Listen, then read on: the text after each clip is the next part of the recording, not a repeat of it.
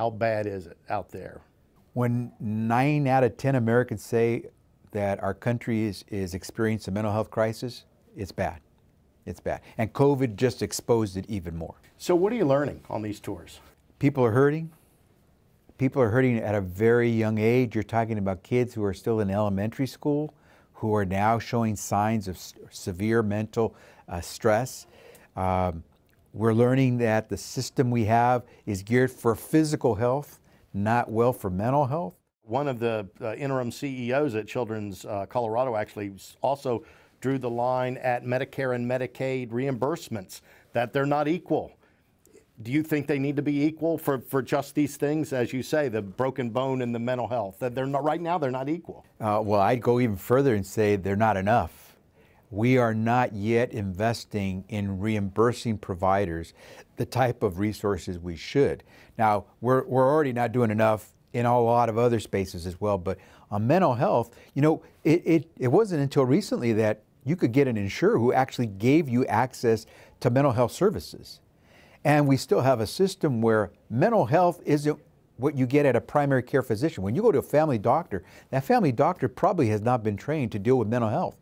But that may be the, the primary reason you need help. And so you had to get referred from that primary care physician before you can get to the real source of your real challenges. That's got to change mental health, if it's to, if mental health is going to be health care, period, then it's got to be part of primary health, not something where you get a, a, a, referral to a specialist. How do we get the incentives to have young people become psychiatrists or psychologists? Right now, as you say, there's no financial incentive for that. Well, we can do a number of things, but we've got to do a lot. But let me tell you some of the things we're already doing because the president has given us some of the resources. We are now dedicating more of the uh, positions we have through the public health system we have an opportunity to give people a chance to get educated, become doctors, and not have to worry about the medical debt that they would have. They just have to commit to about five years of service in a, in a, a disadvantaged community. And so, guess what? I'll pay for your medical school if you then commit five years. And in this particular case, this slot would be for mental health services. What's taken so long? Why hasn't the federal government done more until now? It's, it's, it's pretty simple money. It's uh, also that we've never quite enforced the laws. And again, these are mostly state laws because healthcare, as you know, Stephen, is a state province. States control healthcare. Constitution left the federal government out of healthcare, but we're in it because we provide resources. When we put out a dollar, we can incent you to do something. So Medicare, that's a federal program. Why? Because Americans pay into it, but it's not because it's granted to them. Medicaid, we put up money for a state to buy into the Medicaid system. You want to help help that family that's low income? You can do it through Medicaid. We'll pay a good portion of it, federal government, but you got to pay the rest. We can help those states go where they need to go when it comes to mental health because we need more resources.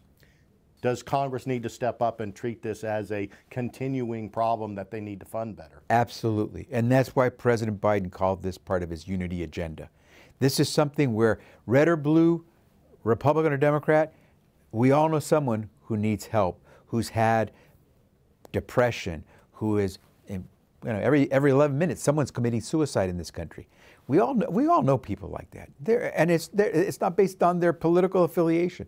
And so the president said, this is a part of the union agenda. We all can do this. In fact, there was, it was a bipartisan issue when we got dollars to deal with mental health. We just got to keep it going because we are so far behind. And one of the young people said to ask, I said, I'm going to talk to the secretary. What would you ask him? he says, We're able to staff COVID beds. Why can't we staff kids' mental health beds? I want to hire that person, whoever said that, because they're absolutely right. And that's what happens when you don't treat mental health the way you treat other health. You go into the ER and you say, My kid just broke his arm. He was playing football, broke his arm. You know, you got the orthopedic surgeon ready to go. You say, My kid is contemplating suicide. And more often than not, they're going to look around and ask, Do we got somebody around who's available? We just don't treat it the same way. You walk into their, your family, uh, family physician's office and say, I think my kid's got the flu. Doctor will know what to do. You say, My kid is solitary, won't talk, I saw some of his emails. I'm afraid he's suicidal. That doctor is liable to say, let me refer you to somebody I know, and then try to get the visit with that specialist. By that time, who knows what could have happened to the, your son. And we just haven't dealt with it the same way. And the other thing we're not doing, Stephen, we're not listening. People are talking to us, whether they're saying it with words or they're showing it with their emotions, their physical uh, manifestations. They're saying, I'm hurting. We're just not listening. We're not listening with our ears, we're not listening with our eyes. In your mind, is that acceptable? No, no. And it doesn't have to be my family member who's hurting for us to want to act. We're an American family. We got to do this. What took so long? Why didn't the federal government intervene before now? You know, it's, it's sometimes it's hidden. You can look very normal. And then when you leave the room, you go into your shelter and you close the doors to everyone. Sometimes it's not so obvious. But mostly it's, as I said, we're just not listening. Is that acceptable that we've got young people in ERs all over with mental health issues all over this country? No, it's, it's not acceptable. It's not care. It's, it's housing them until we can get somebody who can give them professional help. It, yeah, they're crying out. And shame on us that we haven't prepared.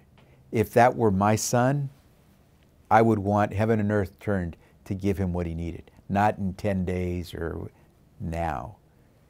We just got to treat every one of these individuals who's hurting as our loved one. Then we'll get, then we'll get action.